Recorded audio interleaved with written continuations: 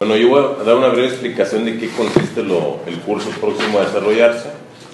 Bueno, la Cámara de la Construcción, en este caso CEMIC, la CANIRAC, eh, Nacional Financiera y la Subdelegación de la Secretaría de Economía en Reynosa están organizando el diplomado Servicio al Cliente. Las empresas no, no deben de descuidar a sus clientes, a esos que han conquistado y que han identificado con los productos o servicios ofrecidos. Para ello debe estar vigilante su comportamiento de sus necesidades, expectativas y sobre todo de su lealtad.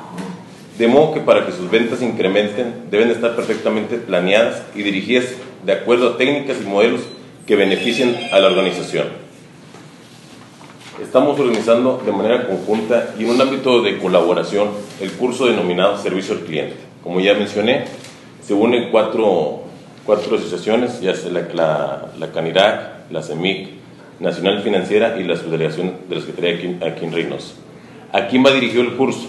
A empresarios, emprendedores, personal de áreas de ventas y a, to y toda aquella que son parte de las organizaciones. Duración, 16 horas. Fechas, 23 de octubre, 30 de octubre, 6 de noviembre, el 13 de noviembre. Temas a desarrollar, a desarrollar es servicio al cliente, los 10 mandamientos, ventas para pymes, proceso de mejora continua, capital humano es la pyme. Los horarios son de 9 y media de la mañana a 1 y media de la tarde y el lugar que se va a llevar a cabo es Banquetes El Mayordomo, calle Tercera entre Elías Piña y Boulevard Las Fuentes, Colonia Las Fuentes, donde eran antes los tacos de Jarvis.